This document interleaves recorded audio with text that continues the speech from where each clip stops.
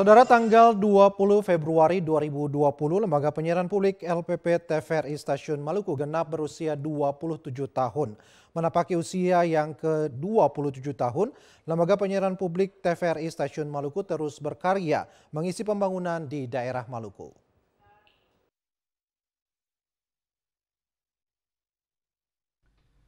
Tanggal 20 Februari 1993, 27 tahun lalu, Lembaga Penyiaran Publik LPP TVRI Maluku resmi dan menjadi stasiun penyiaran di daerah. Dalam perjalanannya, Lembaga LPP TVRI sempat mengalami perubahan struktur organisasi.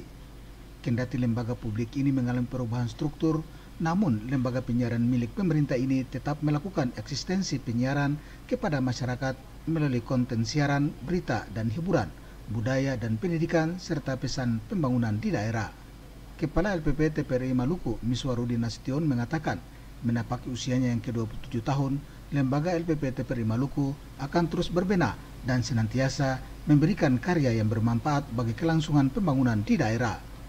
Pesan-pesan pembangunan di daerah akan terus diinformasikan seiring dengan dinamika dan era informasi yang kian pesat.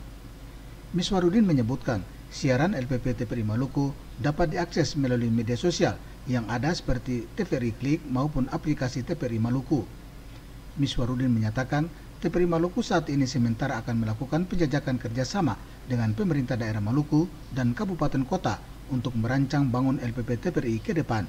Diharapkan melalui kerjasama ini, pembangunan informasi di Maluku dapat terwujud. Kalau jaringan itu sudah ada, kita semaksimal mungkin akan kita manfaatkan sehingga apa yang kita siarkan, apa yang kita tayangkan dari Ambon ini bisa diterima di sana walaupun sebetulnya tayangan kita bisa diterima di mana-mana. Seperti yang saya katakan bahwa medsos kita aktif setiap hari, yang kemudian TVRI Klik bisa diakses di mana-mana. Artinya mau di luar negeri pun kita bisa diakses. Sepertinya saya pulang ke Medan, ke kampung saya, saya bisa akses siaran dari TVRI Maluku ini. Jadi masyarakat sebetulnya tidak ada alasan lagi tidak dapat diterima siaran TVRI Maluku ini gitu. Kepala Dinas Infokom Provinsi Maluku Semihuai mengatakan, Pemerintah daerah Maluku pada prinsipnya akan mendorong LPP TPRI Maluku untuk memantapkan program penyiaran yang sejalan dengan visi misi pemerintah daerah. Saat bicara, yang pertama saya menyampaikan selamat hari ulang tahun untuk TVRI Stasiun Maluku yang ke-27. Di ulang tahun ini TVRI semakin mantap bisa membangun uh, budaya Maluku, membangun semua sektor kehidupan di Maluku supaya apa yang menjadi cita-cita harapan pemerintah daerah di lima tahun ini bisa terjawab. Yang kedua tadi saya sementara sambil lalu bicara sama Pak Kepsta supaya ada kerjasama-kerjasama yang dilakukan oleh pemerintah daerah dan eh, TVRI minimal di dalam mempublish seluruh kebijakan-kebijakan pemerintah daerah.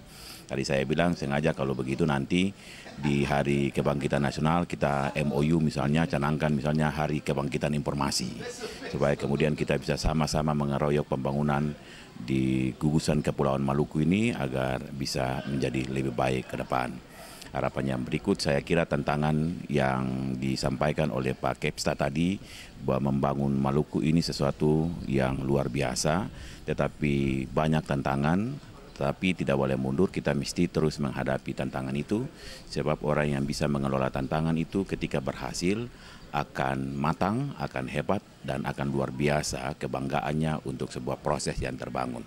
Semihuai menyebut lembaga penyiaran LPPT Pri Maluku harus memiliki eksistensi untuk membangun daerah.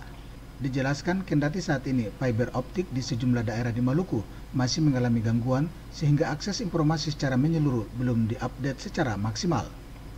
Untuk mengantisipasi persoalan tersebut, pemerintah daerah Maluku akan melakukan pembenahan secara berjenjang sehingga informasi tentang pembangunan di daerah dapat terekspos dengan baik.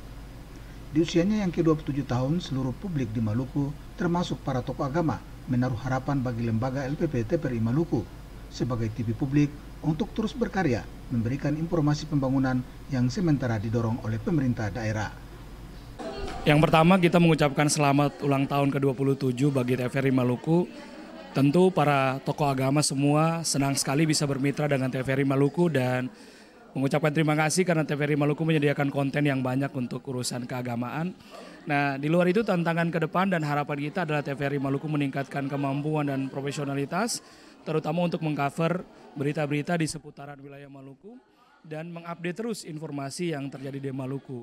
Dan lebih daripada itu kami mengharapkan TVRI terus menjadi media pemersatu masyarakat Maluku dan media yang solutif agar kemudian orang Maluku tidak kemudian bisa lengkap tanpa menonton TVRI Stasiun Maluku. Izinkan saya menyampaikan syukuran ulang tahun TVRI yang ke-27 sebagaimana yang kita telah melakukan kegiatan syukuran ini.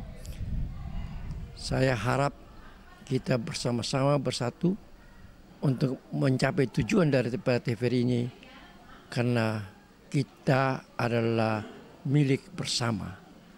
Moga-moga dapat dinikmati dan diberi spot oleh pemerintah provinsi hingga harapan yang di, di, diharapkan itu dapat dikabulkan karena dengan penyiaran TVRI maka seluruh masyarakat cerdas dan dapat mengikuti perkembangan situasi yang ada di sekitar kita.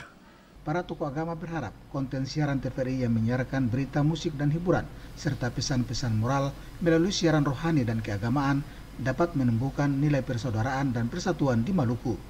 Di usianya yang ke-27 tahun, Lembaga LPP TVRI Maluku diharapkan mampu menjadi media pemersatu bangsa dan terus bangkit berkiprah untuk mengisi pembangunan di daerah.